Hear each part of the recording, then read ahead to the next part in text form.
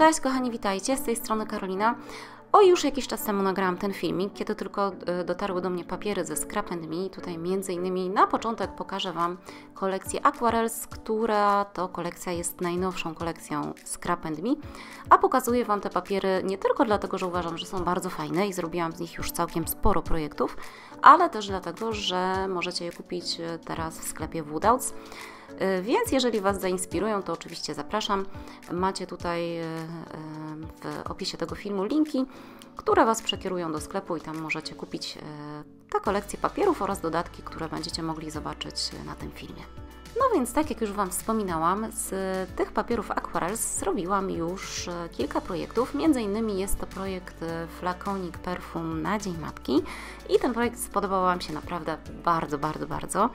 E, przygotowałam do niego taki kit, który pozwala na wykonanie tego projektu samodzielnie. Jest do niego filmik, który trwa całkiem długo i na, dokładnie pokazuje po kolei, krok po kroku, co możecie właśnie i jak możecie wykonać ten projekt.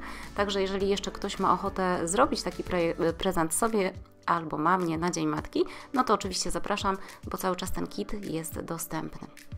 Więc kochani, nazwa Aquarels oczywiście zobowiązuje i te y, arkusze, tak jak możecie tutaj na filmie zobaczyć, skąpane są w barwnych plamach.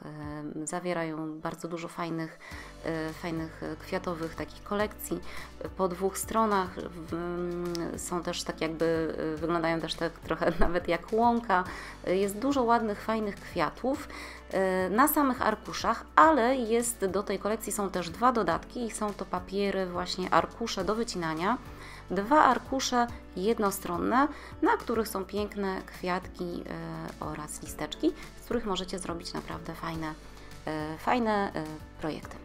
Kolejna kolekcja ze Scrap Me, którą chcę Wam pokazać, to jest kolekcja Especially for You. No i słuchajcie, to jest kolekcja, taka też e, w fioletach można powiedzieć, ale ona jest taka bardziej pałacykowa, ma takie fajne elementy właśnie e, ozdobne do wycinania na etykiecie i właściwie muszę powiedzieć, że jest tak jak każda kolekcja Scrap Me w takich delikatnych, nieintensywnych, nieinwazyjnych kolorach. Także tutaj są to papiery naprawdę spokojne. Y, I zauważyłam też, że Scrap mi często ma takie połączenia, y, na przykład fiolety,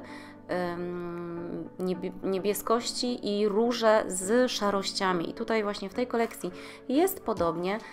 Y, znajduje się w nich, słuchajcie, dużo arkuszy takich kwiatowych, ale też arkuszy z wzorami, również w paseczki. E, I mi osobiście ona się podoba bardzo, ale na razie jeszcze niewiele z niej zrobiłam, także tutaj chyba mam Wam do pokazania tak naprawdę tylko jedną kartkę. E, ta jest bardzo fajna, ten arkusz jest bardzo fajny, bo można go w różne, w różne jakby mm, strony pociąć i podzielić. Jest też arkusz do wycinania z takimi wianuszkami, listkami, girlandami kwiatów. Także myślę, że naprawdę fajna, kompletna kolekcja. Y, tutaj te arkusze do wycinania, słuchajcie, one są dostępne osobno, ich nie ma w y, kolekcji. No i następna, lecimy szybciutko, jest to kolekcja Shafir Days, z której zrobiłam już całkiem sporo, naprawdę sporo kartek na Komunię Świętą, które tutaj zaraz Wam wszystkie pokażę. I co tutaj w tej kolekcji mi się podoba, słuchajcie? Y, bardzo fajne właśnie są y, połączenia tych kwiatów, tak? Te y, kwiatowe kompozycje są naprawdę super i one mogą być już pięknym tłem do zrobienia, do zrobienia kartek.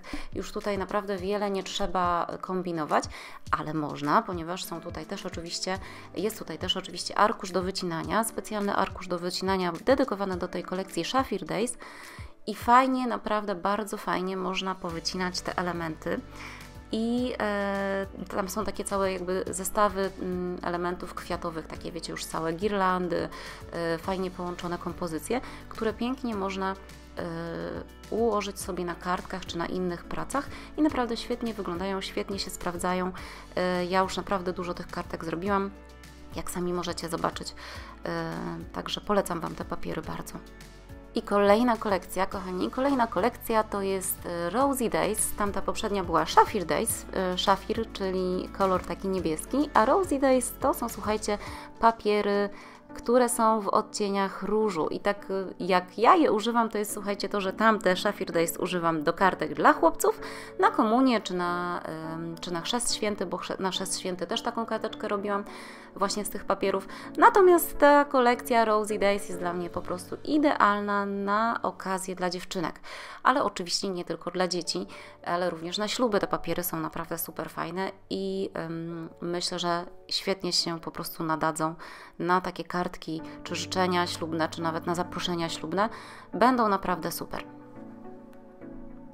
Obie te kolekcje, kolekcja Shafir Days oraz kolekcja Rosy Days, mi osobiście posłużyły również do stworzenia dla Was e, layoutu i jest to layout również z zestawem kreatywnym z kitem, y, przy pomocy którego możecie wykonać dokładnie taką samą pracę jak moja. I oczywiście też y, link do tego kitu, do tego zestawu wrzucam Wam, kochani, do opisu tego filmu. Mnie się ten layout robiło naprawdę bardzo fajnie i mm, tak naprawdę on jest dosyć prosty, bo jest stworzony głównie z papieru plus kilka moich elemencików z Woodouts. A tak zobaczcie, wygląda arkusz do wycinania właśnie z Rosy Days.